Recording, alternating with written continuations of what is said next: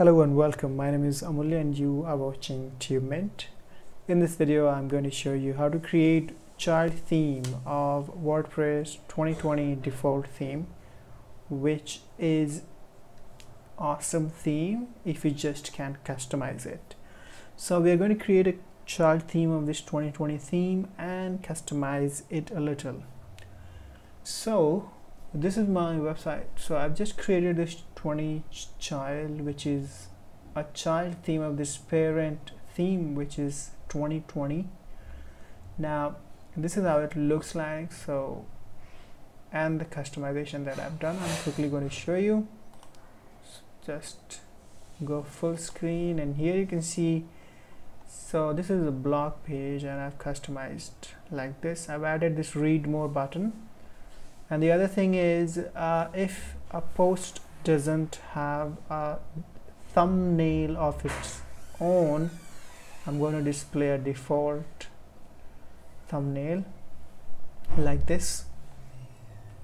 So that's a second customization. The third customization I've created a separate template for this list post list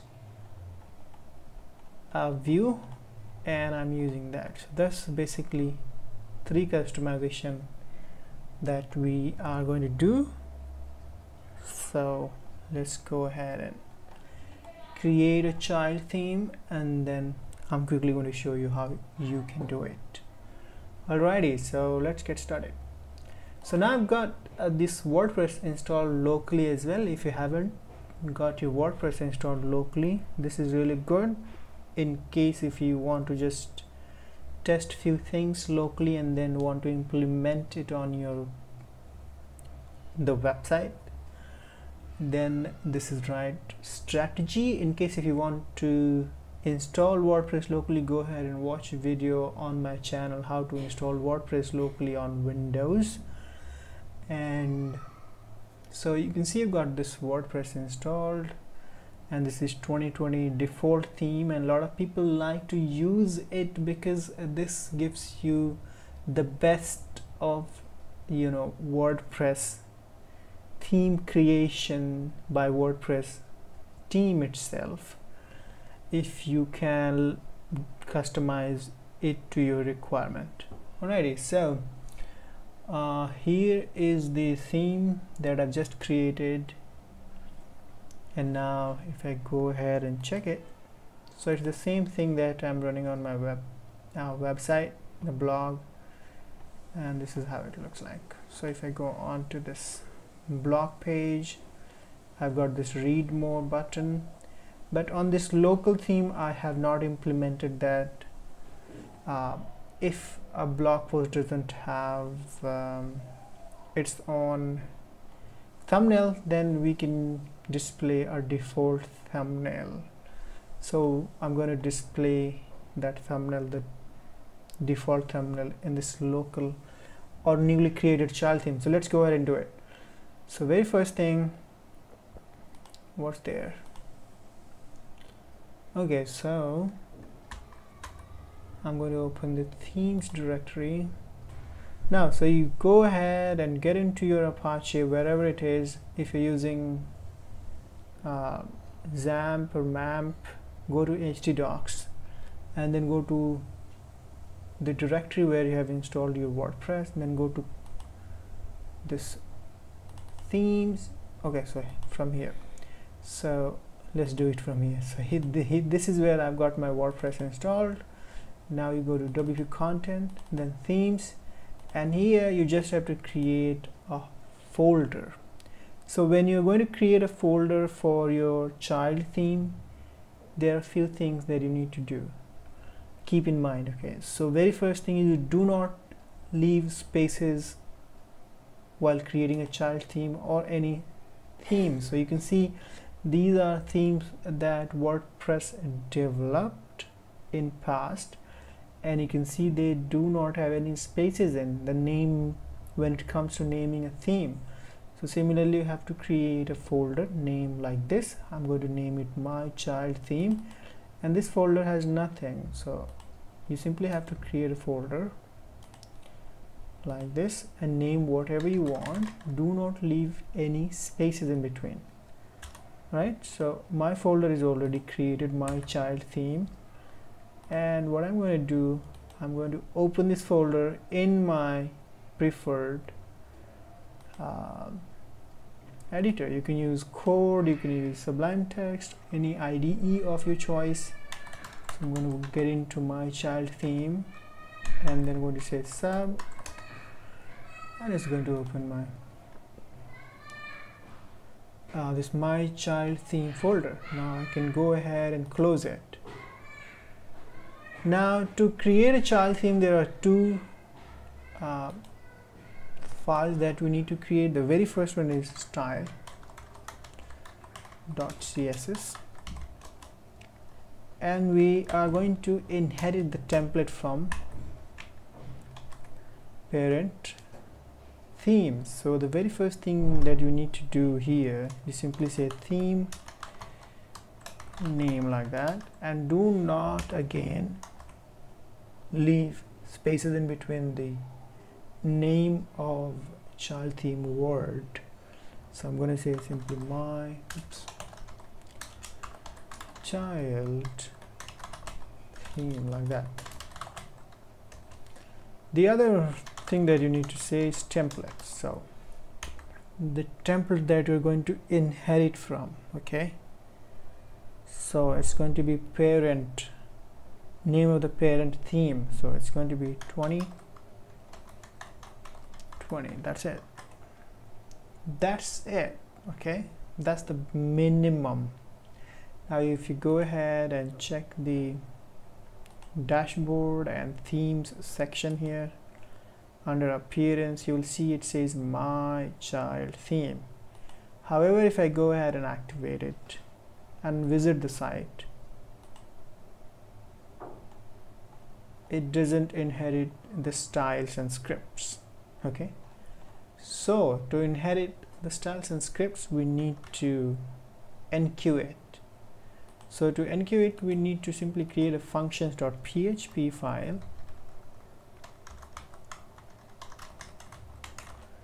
And here we need to inherit the or basically enqueue the parent styles and scripts. So to do so I have something here. I've already created a theme. I'm going to quickly copy from there. Oops. And then I'm going to say 20 child I guess yeah. I'm going to quickly open that particular folder. Okay so what I'm going to do I should have opened this in code so that I can copy. So visual studio code that's another text editor I have here I'm going to this functions.php and this is what it says. Enqueue scripts and styles from parent theme. So these are two lines that we need to copy from here. Or you can just pause the video and type it yourself if you wish to. That's perfectly fine. And just paste it over here I'm sorry about this and if I go ahead and refresh it it's going to pull up all the styles and scripts from the parent theme. And it's working just like the parent theme. So other other reason why people like to create child theme that so that they can uh, customize the theme and whenever there is an update from WordPress theme development team your customization will not be changed during the uh, theme updation or upgradation. Okay? So that's the very first reason why people like to create a child theme and customize it. So it doesn't go only with the WordPress themes it it goes with any paid or free themes okay? Uh, whenever there is an update for a particular theme and you want if in case if you update it or upgrade it it's going to put everything to its default okay? So your styles customizations are going to be removed completely. So this is why people like to create a child theme and then customize it. Now so we have created this uh, this child theme let's go ahead and uh, customize it. So a few customization that I'm going to do. I'm going to add the uh, read more button. I'm also going to display only specific number of words. And the other thing is okay I'm going to set a default thumbnail for a post in case it doesn't have a thumbnail so that's the second customization. What else? I forgot. There were three. One two. Mm -mm, I forgot. I think I think there were three customizations I was talking about initially. Mm, what else? Alright so let's go ahead and do these two. I think that's going to be good start. So the first okay. Let's go ahead and begin. So what I will do in case if you just want need this child theme I'll leave the repository link github repository link for this specific child theme that I've created you can go ahead and change the uh, the screenshot. And let's go ahead and have a look. So I'm going to close this one first. Oops, here we go. So what I would like to do for any customization I quickly go ahead and copy all the templates from the parents theme. And it could be a templates folder or file. I just copy them and paste it over to the child theme and I make the customizations yeah. The third thing I was talking about I I will create a specific template for this particular uh, post list uh, view because what WordPress does it uses index.php for displaying uh, what you call archive and posts. I don't like that. So let's go ahead and do this. So these are three things that we're going to do. Let me go ahead and put it on the sticky. Mm -mm -mm. get lost. First thing is read more button.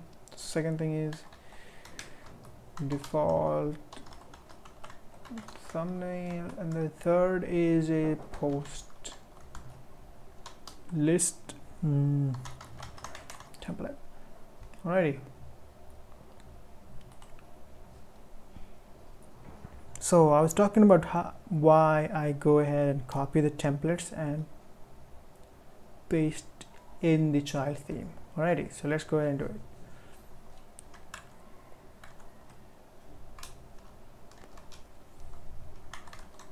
So I'm just going to open this themes folder here. And here we are. So I'm going to copy everything from 2020 so I need this template template parts. And I also need this footer uh, header index uh, singular search form if you need to screenshot um, comments. If you like you can go ahead and copy this folder as well templates. So I'm going to I've just selected I just held down the control key and keep clicking on the files and folders that I need to copy over to the child theme. So I'm going to copy it and then get into this my child and going to paste it over in here. Okay so I've got everything. It's not going to impact my theme that I just activated here. Let's go ahead and my child theme has been activated. You can see it here so if I go ahead and refresh the view it's not going to change anything at all okay?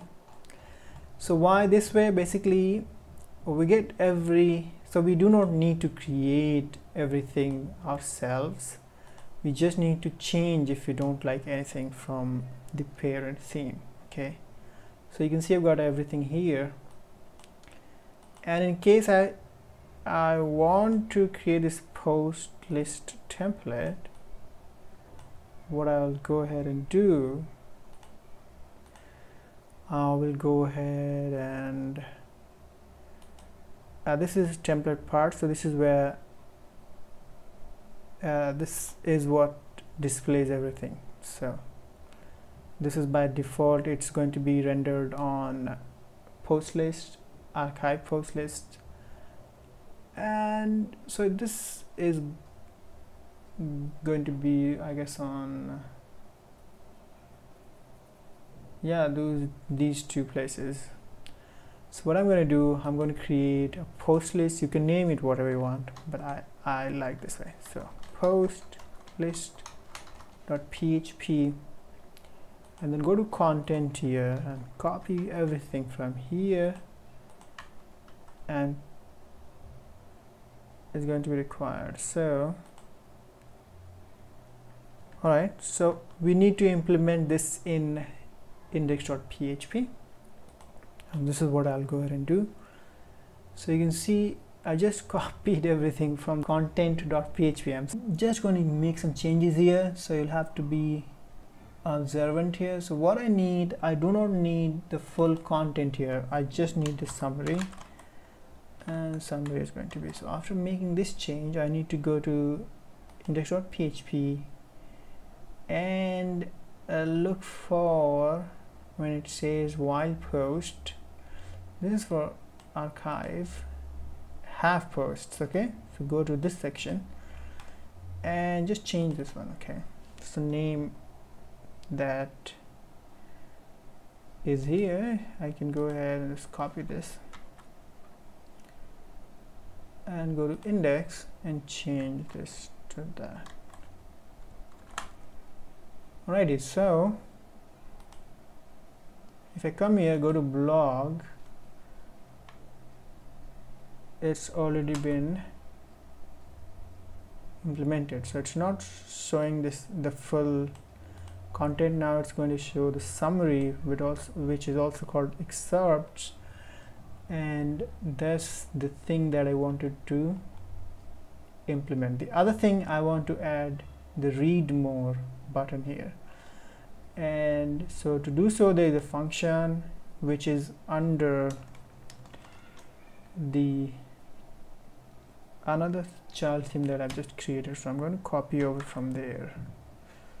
So get into here. I'm going to just open this folder themes folder and 20 child I'm going to open this in code another text editor I have here. And then go to oops it opened everything. So go here and then go to functions. I'm really sorry get lost. Working so now what I need read more button. So this is going to add a read more section. This is customizable as well if you want to say continue reading you can change this. So mm, go to sublime text and then go to your themes and then go to uh, functions here. Add this section here. Now view uh, the browser and check if it's been added. So it's been added you can see it here. Now we can go ahead and add some style to it. I also have the style so I'm just going to copy it from code. And I've got everything here. So read more read more read more. Entry content that's slightly different. Okay go to style.css and put some custom styles here. Okay so it, it worked. Now you can see uh, this is completely customizable. You can customizable you can go ahead and play with the css here. Okay. All right so i guess we added a read more button here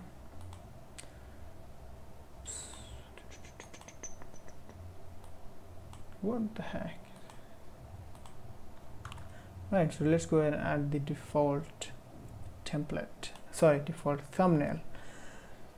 So what I've done here if you go ahead and check this templates part it has a section which says featured a file which says featured image. So what it says basically if ha uh, if has post thumbnail and doesn't have password required okay? So this kind of logical part of it. Go ahead and you know is not singular. Uh, go ahead and pull the thumbnail in the medium size. And here it says PHP the post thumbnail. Uh, this is for both post and pages. So it's going to if but it, it doesn't have the other part in case if it doesn't have. So what we need to go ahead and do is simply go ahead and look for this featured-image.php and simply say else what. So in case doesn't have go ahead and view this portion or this image. So I'm going to close that. I'm going to put my HTML here. Alrighty so I can just simply go ahead and say image. Oh it does work. So what I'm going to do I'm going to put everything in a p tag and then a tag and then within this a I'm going to say image for a reason. So let's go ahead and say I want people people to be redirected or directed to a specific URL which is going to be default anything. You can put anything like whatever you want. And then image location here. So sorry image the media file locations. What I'll do go ahead and do quickly go ahead and take the um, go to media. And you can upload any image over here. So let's say I want to make this one um, let's say I want to make this one as a default thumbnail. So I'll go ahead and copy this one. And just put in the source here and save it. Okay. Alright also I'm going to put a style. So in the style I'm going to say margin auto which is going to display it in the center. And uh, text weird when you have to do inline styling. You can do it in this uh, text. Sorry what do you call it? style.css as well. Margin. So it's going to be text align. Text align center.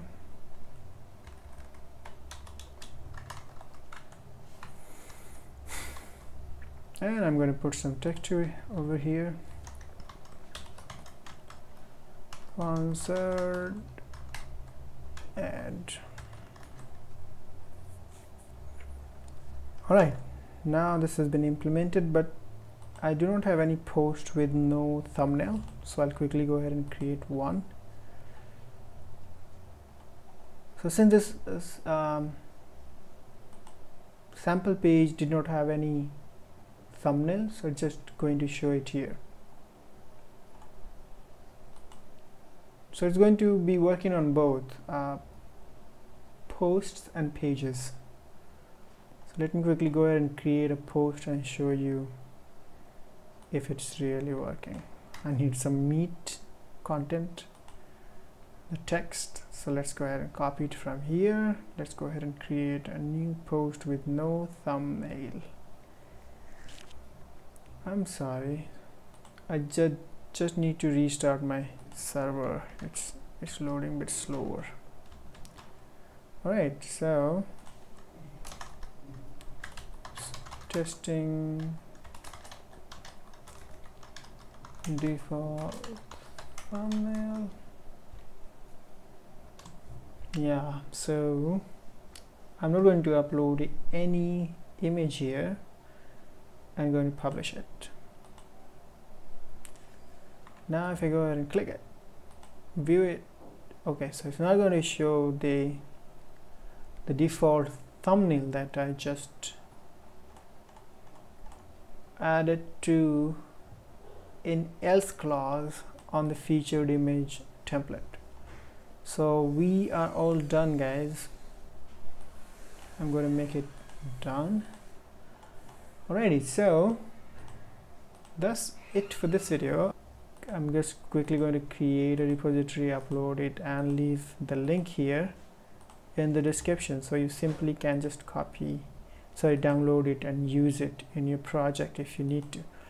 So that's it for this video. Thank you so much for watching this video. Please like share and subscribe to my channel. If you have any question leave in the comment below. Also if you need any help with WordPress installa um, installation or on the cPanel go ahead and watch videos on my channel. I will leave hopefully the links in the description as well. That's it for this video again. Have a good day. Bye for now